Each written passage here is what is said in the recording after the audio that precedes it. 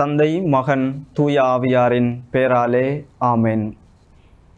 இயேசு ஆண்டவருக்குள் பிரியமான சகோதர சகோதரிகளே புலந்திருக்கின்ற இந்த புதிய நாளிலே ஆண்டவர் இயேசுவினுடைய வார்த்தையை ஆழமாக சிந்திக்கவும் அதை தியானிக்கவும் உங்களுடைய வாழ்வாக மாற்றவும் இந்த நாளிலே உங்களை அன்போடு வரவேற்று நிற்கின்றேன்.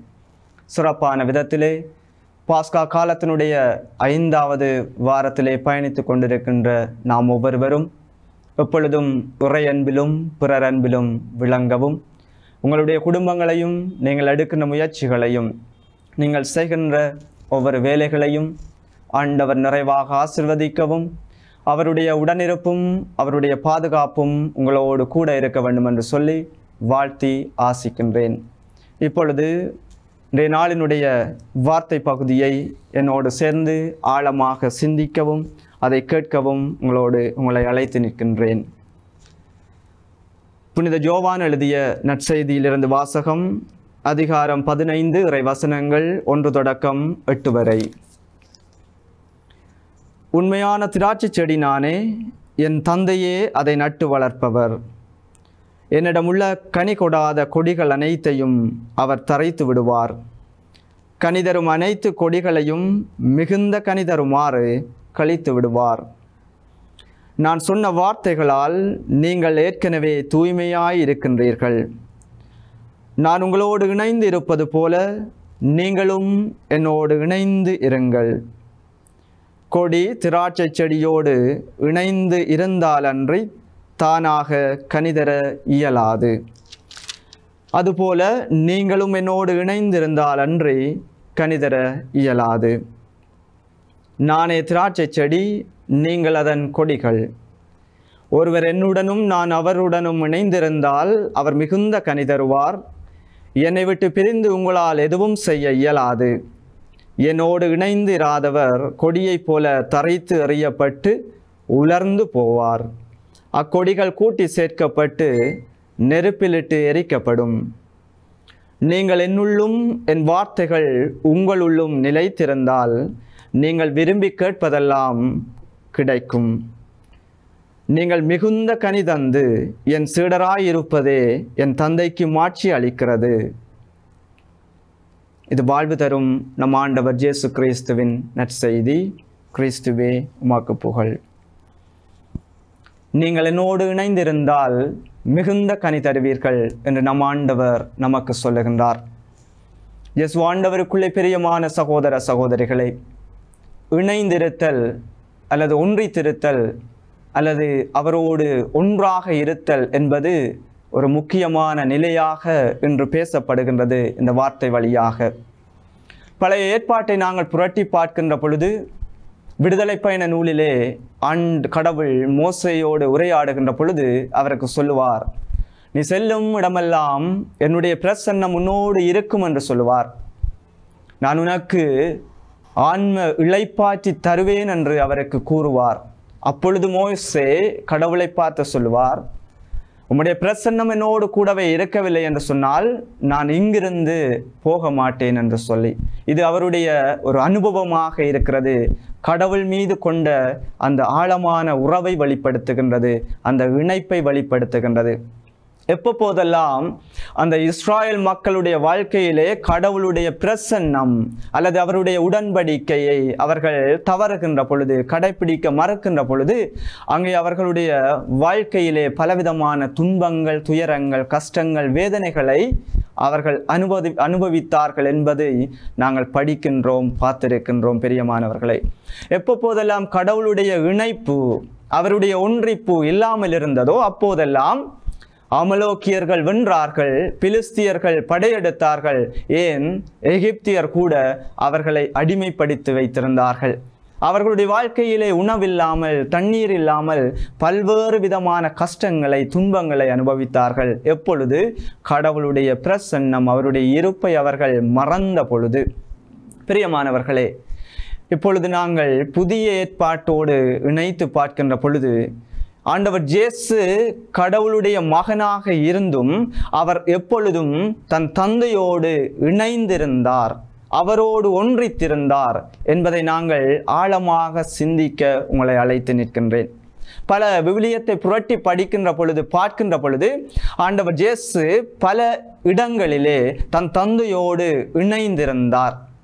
லூக்கா நற்செய்தி ஐந்தாம் அதிகாரம் பதினாறாம் வசனத்திலிருந்து படிக்கின்ற பொழுது ஆண்டவர் ஜேசுவை நோக்கி ஒரு தொழுநோயாளர் ஓடி வருகின்ற பொழுது ஆண்டவரே என்னுடைய நோயை உமால் நீக்க முடியும். நீர் ஒரு வார்த்தை சொல்லும் என்று கேட்கின்ற பொழுது ஆண்டவர் ஜேசு அவருக்கு ஆமென்று சொல்லி அவருடைய நோயை குணப்பாக்கியதன் பிற்பாடு அவர் ஆள் நடமாட்டம் இல்லாத ஒரு தனிமையான இடத்திற்கு சென்று அவர் தந்தையோடு இணைந்திருந்தார் என்று பார்க்கின்றோம். அவ்வாறு நாங்கள் லூகா நற்செய்தி இருபத்தி ரெண்டாம் அதிகாரம் முப்பத்தி ஒன்பதாவது வாக்கு வசனத்திலிருந்து நாங்கள் படிக்கின்ற பொழுது பிரியமானவர்களே ஆண்டவர் ஜேசு தன் சீடர்களோடு ஒலிவமலையை நோக்கி பயணிக்கின்றார். அது அவருடைய வழக்கமாக இருந்தது என்று அந்த வார்த்தை சொல்லுகின்றது. தனிமையாக செல்லுவது எப்பொழுதும் வழக்கமாக இருந்தது என்று சொல்லி அந்த வார்த்தை சொல்லுகின்றது. அங்கே சென்று அவர் தம் சீடர்களை ஒரு கல்லறி தூரம் அவர்களை விட்டுவிட்டு தனிமையாக சென்று முழந்தால் படியிட்டு ஆண்டவர் தன் தந்தையோடு இணைந்திருந்தார். செபத்தில் ஈடுபட்டிருந்தார் என்று பார்க்கின்றோம். அந்த செபத்திலே நம் ஆண்டவர் இயேசு இணைந்திருக்கின்ற பொழுது அவர் சொன்ன எடுத்துரைத்த வார்த்தை என்னவென்று பார்க்கின்ற பொழுது தந்தையே இது என்னுடைய திருவிழம் அல்ல என்னுடைய விருப்பம் அல்ல இந்த துன்ப கிண்ணம் நீங்க வேண்டும் என்று சொன்னால் அது உம்முடைய சித்தம் போல ஆகட்டும் என்று சொல்லி எப்பொழுதும் நம் ஆண்டவர் ஜேசு கிறிஸ்து தன் தந்தையினுடைய திட்டத்தை நிறைவேற்றுவதிலே குறிக்கோளாக இருந்து வாழ்ந்து காட்டியவராக இருக்கின்றார். இவ்வாறு இன்றைய நாளினுடைய நற்செய்தி அந்த இணைந்திருத்தல் ஒன்றித்திருத்தல் கூட்டாக இருத்தல் என்பதை நமக்கு ஞாபகப்படுத்துகின்ற பொழுது மத்திய நற்செய்தி பதினாலாம் அதிகாரம் இருபத்தி மூன்றாம் வசனத்திலிருந்து படிக்கின்ற பொழுது ஆண்டவர் ஜேசு ஐந்து அப்பங்களையும் இரண்டு மீன்களையும் ஐயாயிரம் பேருக்கு பகிர்ந்து அளித்ததன் பிற்பாடு அங்கே வந்திருந்த மக்கள் மீது அவர் பரிவு கொண்டு இந்த நிகழ்வை அவர் செய்கின்றார். பரிவு கொள்ளுகின்றவராக இருக்கின்றார் நம் ஆண்டவர் ஜேசு கிறிஸ்து. இவ்வாறு பரிவு கொண்டு அவர்களுக்கு உணவு கொடுத்ததன் பிற்பாடு அவர்களை வீட்டுக்கு அனுப்பிவிட்டு தம் சீடர்களையும் படகேறி அக்கறைக்கு செல்லுமாறு அனுப்பிவிட்டு அவர் தனிமையாக மலையிலே ஏறி சுபித்தார் என்று பார்க்கின்றோம். இவ்வாறு ஆண்டவர் ஜேசுவனுடைய வாழ்க்கையிலே அவர் பயணித்த நிகழ்வுகளிலும் தன் தந்தையோடு எப்பொழுதும் அந்த உடனிருப்பு அந்த இணைந்திருப்பு ஒன்றித்திருப்பையில் இரு- இருப்பதிலே அவர் தவறவில்லை. அவ்வாறு அவர் ஒன்றித்திருந்ததிலே அவ்வாறு கடவுளோடு இணைந்திருந்ததிலே அவர் பெற்ற வல்லமையை அந்த சக்தியை அவர் தனக்கு என்று அவர் பகிர்ந்து பயன்படுத்தி கொள்ளவில்லை பிரியமான உறவுகளை. அங்கே கவனிக்க வேண்டிய ஒவ்வொரு ஒரு விடயம் என்னவென்று சொன்னால் தான் கடவுளிடமிருந்து பெற்றுக்கொண்ட அந்த வல்லமையை சக்தியை மக்கள் நன்றாக இருக்க வேண்டும் என்று சொல்லி மனிதர்கள் நன்றாக இருக்க வேண்டும் சொல்லி தன்னுடைய பிள்ளைகள் நன்றாக இருக்க வேண்டும் என்று சொல்லி அதை பயன்படுத்தினார். அது எங்கிருந்து கிடைத்த வல்லமை? கடவுளோடு இணைந்திருந்ததன் மூலமாக அவர் பெற்றுக்கொண்ட வல்லமையாக இருக்கிறது. அந்த வல்லமையின் விளைவாக அவர் பேய்களை ஓட்டினார் பிணிகளை நோக்கினார். தன்னை நோக்கி வந்த ஒவ்வொரு மக்களையும் ஆறுதல் படுத்தினார் தேற்றினார் அரவணைத்தார் அன்பு செய்தார். அவர்களை நிறைத்தார். அவர்களை வாழ வழிகாட்டியவராக நம் ஆண்டவர் இயேசு கிறிஸ்து விளங்கி இருக்கிறார் இவ்வாறு பிரியமான சகோதர சகோதரர்களே இன்றைய நாள்களிலே இந்த காலகட்டங்களிலே நானும் நீங்களும் கேட்க வேண்டிய ஒரு கேள்வி என்னவென்று சொன்னால் நம்முடைய வாழ்க்கை பயணத்திலே நாங்கள் எதற்றோடு எவற்றோடு இணைந்திருக்கின்றோம் என்பதுதான் கேள்வியாக இருக்கின்றது. நம்முடைய வாழ்க்கை பயணத்திலே நாங்கள் யாரோடு இணைந்திருக்கின்றோம்? அல்லது இந்த உலகத்தினுடைய எவற்றோடு நாங்கள் கலந்திருக்கின்றோம் என்பதுதான் ஒரு கேள்வியாக இருக்கிறது என்னுடைய வாழ்க்கை வட்டத்தை நாங்கள் ஆழமாக யோசிக்கின்ற பொழுது என்னுடைய வாழ்க்கை பணத்தோடு இணைந்திருக்கிறதா அல்லது பட்டத்தோடு இணைந்திருக்கிறதா அல்லது பதவி ஆசைகளோடு இணைந்திருக்கிறதா? பொருளாதாரத்தை அதிகரிக்க வேண்டும்னு சொல்லி அதனோடு இணைந்து பயணிக்கின்றோமா? அல்லது தொலைக்காட்சியோடு இணைந்திருக்கின்றேனா? அல்லது தொலைபேசியோடு இணைந்திருக்கின்றேனா?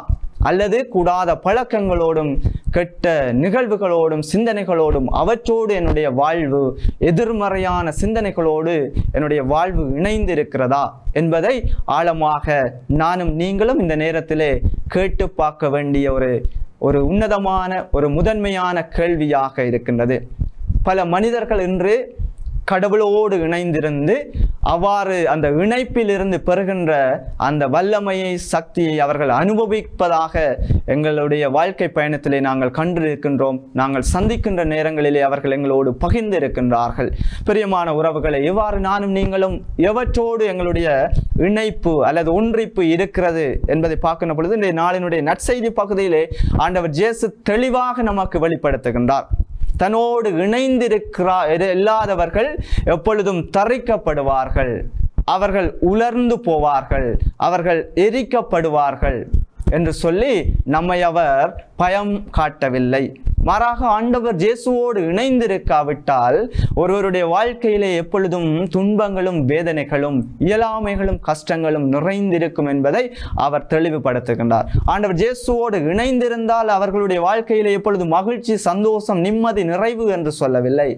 அவரோடு இணைந்திருக்கின்ற பொழுது துன்பமும் கஷ்டமும் வேதனைகளும் விரக்திகளும் இயலாமைகளும் அவமானங்களும் படுதோல்விகளும் வருகின்ற பொழுது அவர் நமக்கு வல்லமை தருவார். அவற்றையெல்லாம் தாண்டி எதிர்கொண்டு சவால்களை நாங்கள் முன்னிறுத்தி செயல்பட்டு நாங்கள் வளர்வதற்கு அவர் பலம் தருகின்றவராக இருக்கிறார் என்பதை இன்றைய நாளினுடைய நற்செய்தி நமக்கு சொல்லித் தருகின்றது. அவரோடு இணைந்திருக்கின்ற பொழுது நீங்கள் என்னுள்ளும் என் வார்த்தைகள் உங்களுள்ளும் நிலைத்திருந்தால் நீங்கள் விரும்பி கேட்பது உங்களுக்கு கிடைக்கும் என்று சொல்லி ஒரு ஆறுதலான வார்த்தையை நமக்கு சொல்லுகின்றார். விரும்பி கேட்பது எல்லாமே நமக்கு கிடைக்க வேண்டும் என்று சொன்னால் அவரோடு நாங்கள் இணைந்திருக்க வேண்டும். அப்பொழுது நாங்கள் மிகுந்த கனி கொடுப்போம் மிகுந்த பயன் கொடுப்போம் என்று சொல்லி நம்ம ஆண்டவர் ஜேசு கிறிஸ்து நமக்கு சொல்லித் தருகின்றார் வெளிப்படுத்துகின்றார் தன்னுடைய வார்த்தையினூடாக.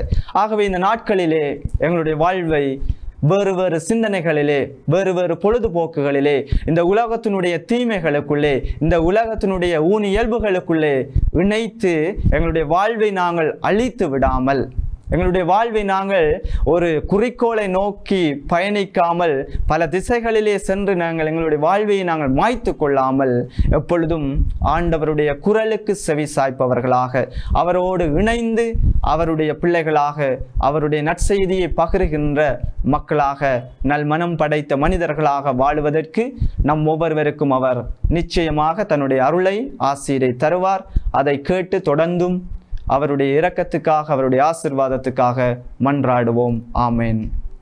மன்றாடுவோமாக. எங்களை எல்லாம் நேசிக்கின்ற வல்லமை உள்ள ஆண்டவரே நீர் தந்த உன்னதமான நாளுக்காக இந்த செய்திக்காக இறைவார்த்தை பகிர்வுக்காக நன்றி சொல்லுகின்றேன் ஆண்டவரே. இதனை கேட்டுக்கொண்டிருக்கின்றவர்கள் பார்த்து கொண்டிருக்கின்றவர்களுடைய வாழ்வை நீரே அறிந்திருக்கின்றீர். அவர்களுடைய உள்ளங்களை நீரே உற்று நோக்குகின்றீர். மனிதர்கள் வெளி அடையாளங்களை உற்று நோக்குகின்ற பொழுது உம்முடைய பார்வை எப்பொழுதும் அவர்களுடைய உள்ளத்தை ஆழமாக பார்ப்பதாக இருக்கிறது. அவர்களுடைய வாழ்க்கையில் இருக்கின்ற இயலாமைகள் கஷ்டங்கள் வேதனைகள் துன்பங்கள் அவர்களுடைய ஒன்றிப்பு எதனோடு கலந்திருக்கிறது என்பதை அறிந்த தந்தையாக இருக்கின்றீர். இனி வரும் காலங்களிலே அவர்கள் தீமைகளை விலக்கி உம்முடைய அன்பிலே நிலைத்திருக்கவும் உம்மோடு ஒன்றித்திருக்கவும் உமக்கு சாட்சியம் பகிர்கின்ற நல்ல மனிதர்களாக வாழுவதற்கு நீரே துணையாக இருந்து உமது அருளை உடைய ஆசீரை நிறைவாக பொழிந்து வழிநடத்தி காத்தருளும். ஆமேன். தந்தை மகன் தூய ஆவியாரின் பேராலே. ஆமேன்.